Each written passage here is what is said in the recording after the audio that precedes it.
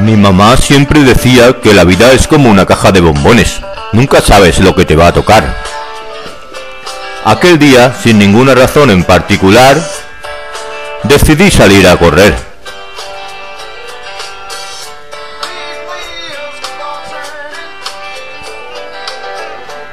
Corrí hasta el final del camino. Y cuando llegué, pensé que tal vez podría correr hasta el final del pueblo.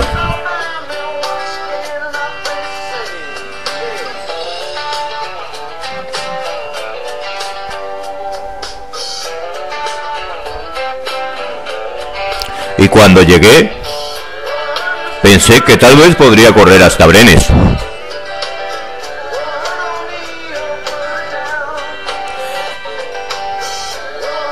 Noté que si había llegado tan lejos, tal vez podría correr hasta Machenas o hasta Paradas. Y eso fue lo que hice. Corrí atravesando Andalucía. Sin ninguna razón en particular, seguía corriendo. Corrí derecho hasta el océano y cuando llegué noté que ya había llegado lejos y que tal vez debía dar la vuelta y continuar corriendo.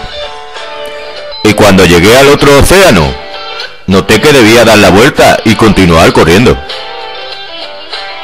Cuando tenía sueño, dormía. Cuando tenía hambre, comía. Cuando debía, tú sabes, iba. Cuando corría, pensaba en mi muy mejor amigo Antonio, alias el liebre.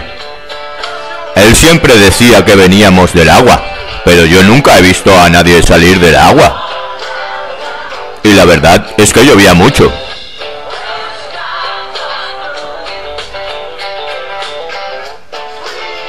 Un día llegué a un puente en Lisboa y me acordé de mi muy mejor amigo Antonio, porque él siempre decía que los puentes eran una gran obra de ingeniería. Pues no lo sé.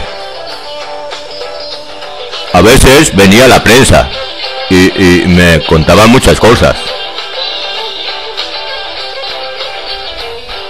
Y yo le decía que no sabía por qué corría.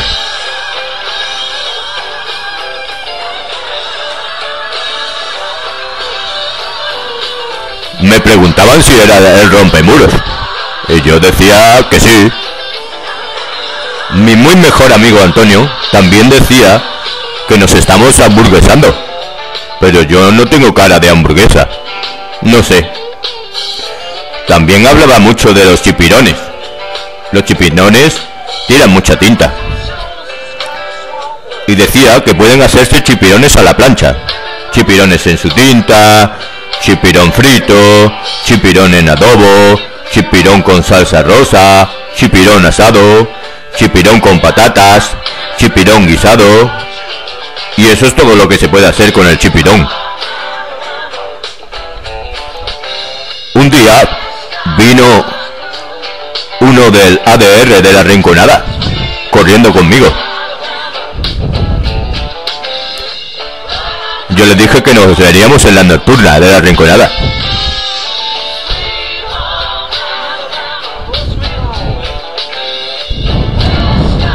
Y otro día Vino un hombre con una camiseta. Decía que era de los lentos de Torreblanca. Y le regalé una camiseta amarilla.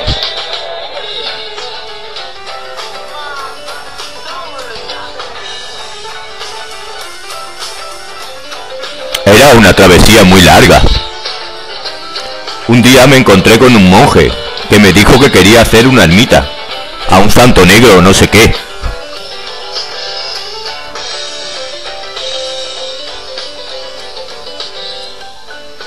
y pienso que eso fue lo que hice con mi carrera. Yo había corrido durante tres años, dos meses, 14 días y 16 horas. Y un día, sin saber por qué, dejé de correr.